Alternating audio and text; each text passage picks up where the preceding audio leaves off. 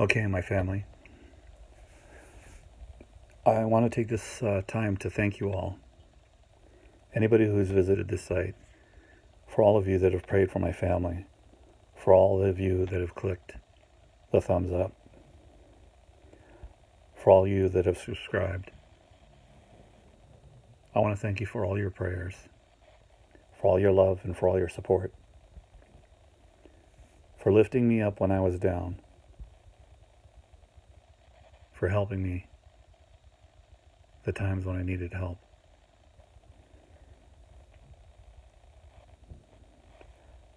I hope you are preparing right now as I am and getting your house in order, both physically and spiritually.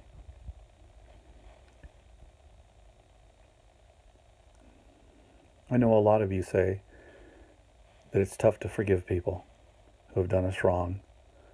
It's tough to forget. But you know what? It was tough for me to do that as well until I turned it over to Jesus Christ. When I turned it over to him and I told him that I was having a hard time letting it go, he took it from me. He took it from me and he shouldered that burden as he will with each and every one of you. Surrender to him. The more that we surrender to him, the more that we empty ourselves of self, the more that he can fill us with the Holy Spirit of God. I, want, I took this time to thank you all because I don't know when, but I know a time is coming when our voices will not be heard anymore on the internet. I know that the powers that be, if they had it their way, no one would be able to speak the name of Jesus. And those days are really coming.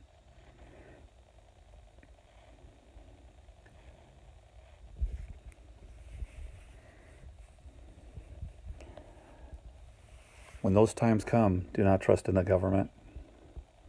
Do not trust in man.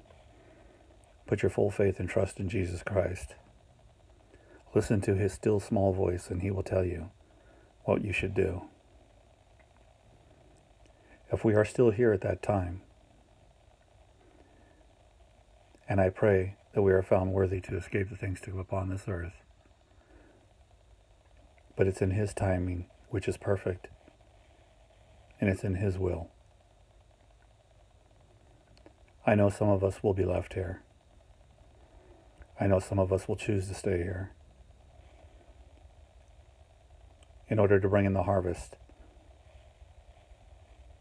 And I know that some of us will go home. I pray that whatever it is that He has for you to do,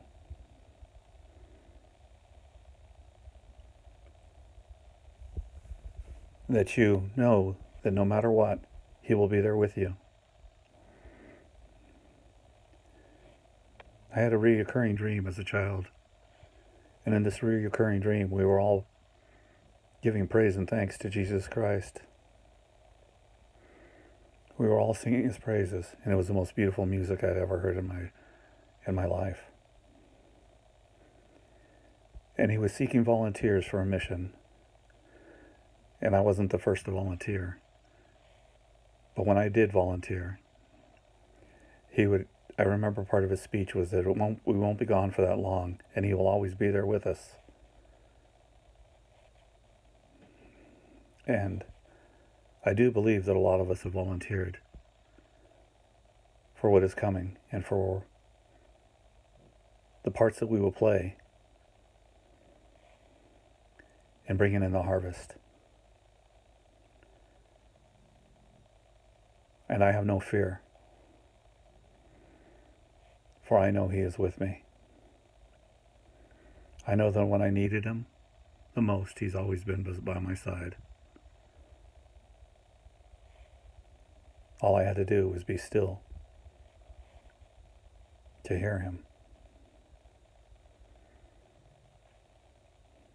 Even in times of trouble, when I was a child, I was almost abducted more than once.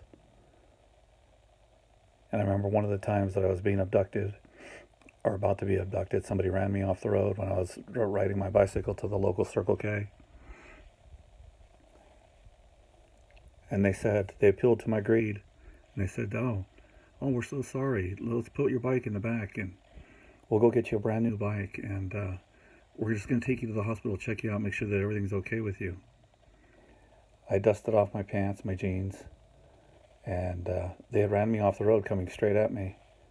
And uh, I heard a voice in my head, you know, you're there was a voice that said, you know, thinking in your head, your your greedy thoughts, the flesh that said, you know, if you put your bike in the back of their car, you're going to get a brand new bike. You could go with them and they're going to get you a brand new bike. And I heard a voice, a real voice that said, if you put your bike in the back of that truck, you will never see your family again. And I know that voice was the Holy Spirit of God. And as soon as I heard that voice, I jumped on my bike and I took off in the opposite direction and I pedaled as fast as I could to get home.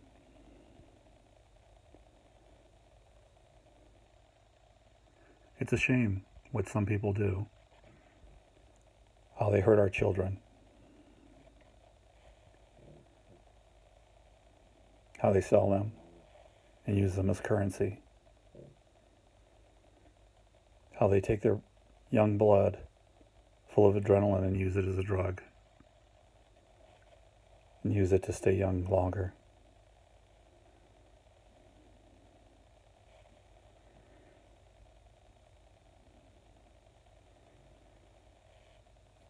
I know, and I've prayed many days that God would come and save all the children. That He would punish the wicked for what they have done to our children.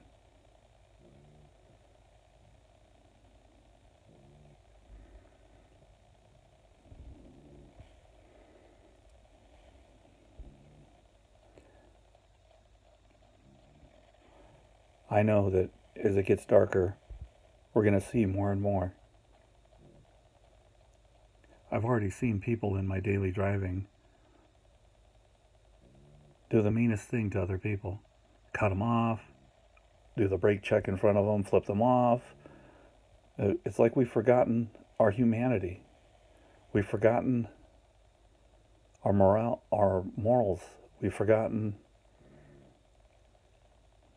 how to be decent people. I know that it's because they're filled with hate.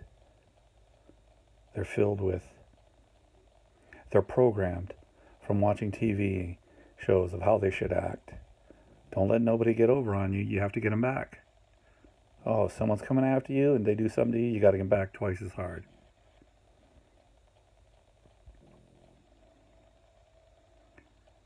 We have to be able to forgive. We have to be able to pray for our enemies. We have to be able to get our houses in order, our spiritual houses as well. I know that it's hard to forgive some people of some things. I know that when we feel that we've been hurt and trust and we've given them a second chance and they've done it again, that we feel like, oh, um, there's no way I can forgive. But that burden is weighing you down. That burden is making you sick. You need to release it.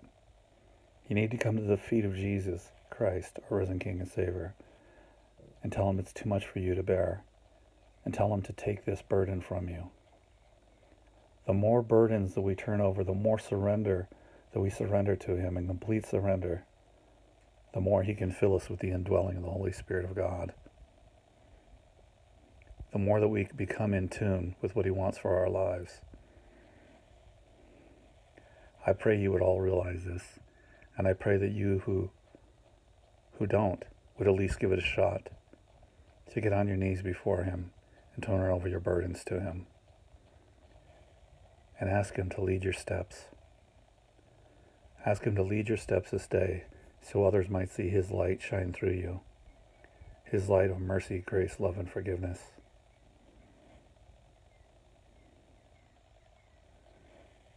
I have a message today from our sister, Julie Whedbee. And the other day I saw a video I'll put the link in the description box of uh, it was in Mex. It was taken of a camera from in Mexico, and it actually showed a a red planet in the horizon. And her video, it goes pretty much with her video that I saw today, or her blog. Urgent, prepare, do not wait. Vision of Planet X, Nibiru, the destroyer is near. This message is in three segments that the Father is now having me release as one message. It is also my understanding that there will be more than one period of darkness on earth. The judgment of Nibiru is one of the times the earth will experience darkness. There are other prophecies that speak of comets and volcanoes causing darkness as well. We can only see in part, and Father is not telling me which particular judgment is imminent, but the judgment is here. And the urgency grows each and every day. Do not be slack in your preparations. These are perilous times. Put on the full armor of God. We cannot underestimate what is upon us. To do so could mean eternal separation from Father. It is also important as well that we do not hyper-focus on the details of any one particular judgment, but rather focus on staying prepared spiritually as the judgments come.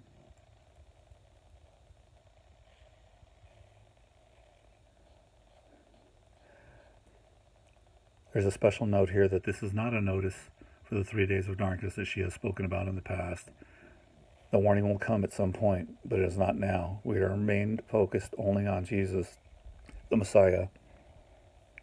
Make sure our oil lamps are filled and our wicks are trimmed, and that we are ready to respond at a moment's notice. His peace that suppresses, that transcends all understanding. Here's the vision. In the early morning of November 27, 2018, I was shown Planet X Nibiru during a night vision. I suddenly heard a voice in the spirit say to me, Look over there. It is here. The time is now. I looked out at the horizon and saw a massive planet coming up from the horizon, red and fiery, much, much larger than any planetary body has ever been seen in the past with the naked eye. It was approaching the Earth at such an incredible speed and completely full of fire from what I could see. I knew what this meant, but as I looked around the neighborhood, where I happened to be with my family, no one else seemed to understand. Many people were panicking, some screaming and dropping to the ground. Many others were running to get inside their houses, calling on their children and animals to get inside. I also knew instinctively from what Yahushua has taught me in the past that we were to cover the windows, not open them or look out, or open the doors during the time that this planet was passing which would be for three days and three nights. In my spirit, I had the understanding that very, very few people on earth were prepared, physically or spiritually. After my family and I had gone inside and covered everything, I was suddenly taken outside the earth in the spirit and found myself looking at the earth as well as this planet from space. In an instant, as the fiery red planet was hurtling towards the earth, Satan appeared in front of me, mocking, King Mashiach, King Mashiach Yahushua, King Messiah Jesus, by wearing a royal-looking robe and crown. A diadem of some sort was on his forehead, and he was acting as if he was king of all creation. He was sneering and laughing. As he watched the planet rushing towards the earth, I then saw thousands upon thousands of demons being thrown from this planet and heading towards earth to torment mankind. They looked like black ants, and they were literally being thrown down towards the earth by the thousands.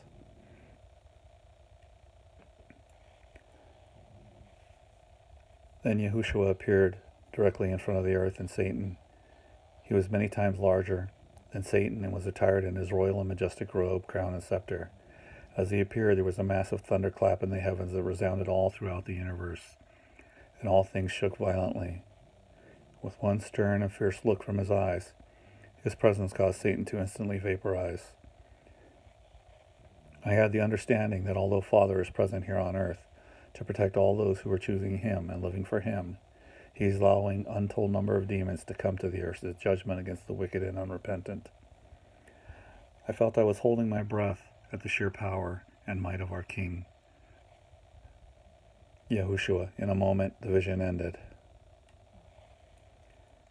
As I have always asked, please pray and ask the Holy Spirit for discernment and understanding about any messages or visions I post from Yahushua. It is my role and position to present the information and revelations I am given, and it is your position to search out the scriptures and seek its truth. The message below was given to me back in the summer of 2016, and I was not to release it until given permission from the Father. Now is the time. Let all those who have ears to hear listen to our Father and Creator. Yahushua speaks. My child, I have shown this vision again so you will warn my people. The destroyer this planetary body I spoke of previously is nearing. It is in your solar system and very near to your sun. The governments of the world have been well aware of its existence and approach for some time, but it has always been their plan to deceive the people and cause them to be unprepared. This is not its first approach to the earth. For if you read my word, you will see that this planetary body has come through many times during biblical history. I have given revelation and insight to Sun regarding past three events of its arrival from my word, and the coinciding effects which will be used as judgments on this earth to cause men to run their hearts and give their lives to me. Expect and prepare for numerous large earthquakes, floods, and tidal waves the splitting and cracking of the earth in many places in severe and chaotic weather patterns. Fire will fall from the sky. As I continue to war, warn, nothing as is, as is as it seems. I do not send these warnings to cause fear and panic, rather to show mercy to my creation, as the warnings are intended to cause you to understand that I am the only one who is your safe place. I am the only one that you need to turn to for counsel. The man-made systems of this world will not provide for you, nor will they protect you, for they do not know me, and their motives are only wicked. Woe to those who do not take these warnings seriously, and who ridicule the chosen ones who have been selected to deliver these messages. I am the discerner of all thoughts and intentions of all hearts, and I will visit you with the recompense due you. Trust in me as your Savior and Redeemer, and choose where you will spend eternity. Seek first my kingdom and righteousness, and allow me to take care of the rest.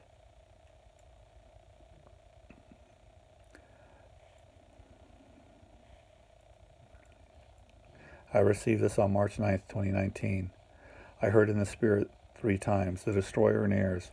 I asked Father for confirmation, that now was the time to post the vision and the warnings. He confirmed that it was the time and added the message below. The destroyer nears its path predestined, its course is sure. Nothing can alter that which has been ordained. It brings great darkness, hordes of evil, chaos, and destruction. The signs you have been given, warning of its approach, are everywhere. Men refuse to accept what the heavens have already declared. What has been shall be again. I will purge the earth by fire. Your spirits must not rest as it is the only way to be truly prepared. What man considers important today will tomorrow be a distant memory. The weight of sin and lack of repentance draws fierce judgment now as my warnings have not been received with humility and obedience. The cries of the defiant will not be heard. In the midst of it all, I will do wonders among my remnant, and there will be no denying I am that I am. Let those who have ears to hear hear what the Spirit is saying.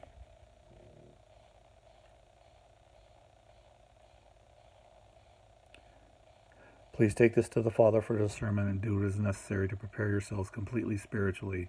This is most important. Then prepare physically as you are led and able. Repent and ask for forgiveness and forgive all those who have sinned against you in this life. If you have not already done so, surrender all to the Father and ask for mercy on your soul now. Glory to God in the highest, my family, I've got to tell you. Once again, Father God has put on my heart what is put here in this message. I did not read the message prior to saying what I stated before I even started reading the message. I don't ever read the message first before I give it. I ask the Holy Spirit of God to lead me and guide me in all truth and understanding. And then He gives me words to say before each and every message that I give. Sometimes He brings things back up to my memory. I can tell you I have seen the red mouth planet myself in a vision. I've seen it. And when it comes, it brings fear upon men's hearts. I was up on the top of a building, a very tall building, and I saw the red planet. And I saw everybody running around frantic and screaming.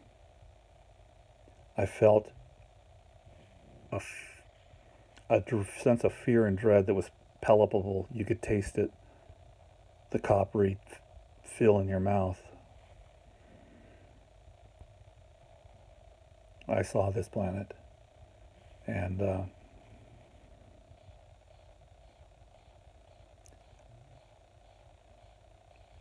I pray for all. And I ask each and every one of you to put on your armor of God daily. And I don't bring these words to you to cause fear. For our risen King and Savior does not bring fear. He gives us peace and a sound mind.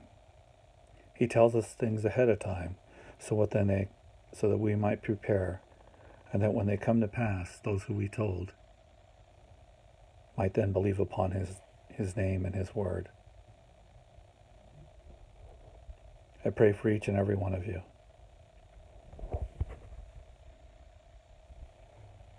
You are as mean as much to me as my own family here in my home. I love each and every one of you. Father God in heaven, please put your holy fire hedge of protection round about us all, on each and every side, above us and below us. Cover our entire family. Please cover our homes and our vehicles, our places of work and worship, our pets and our provisions, our children, their schools and their activities. I pray that you would cover us from all electronics that are eavesdropping on our conversations and hide us from our enemies.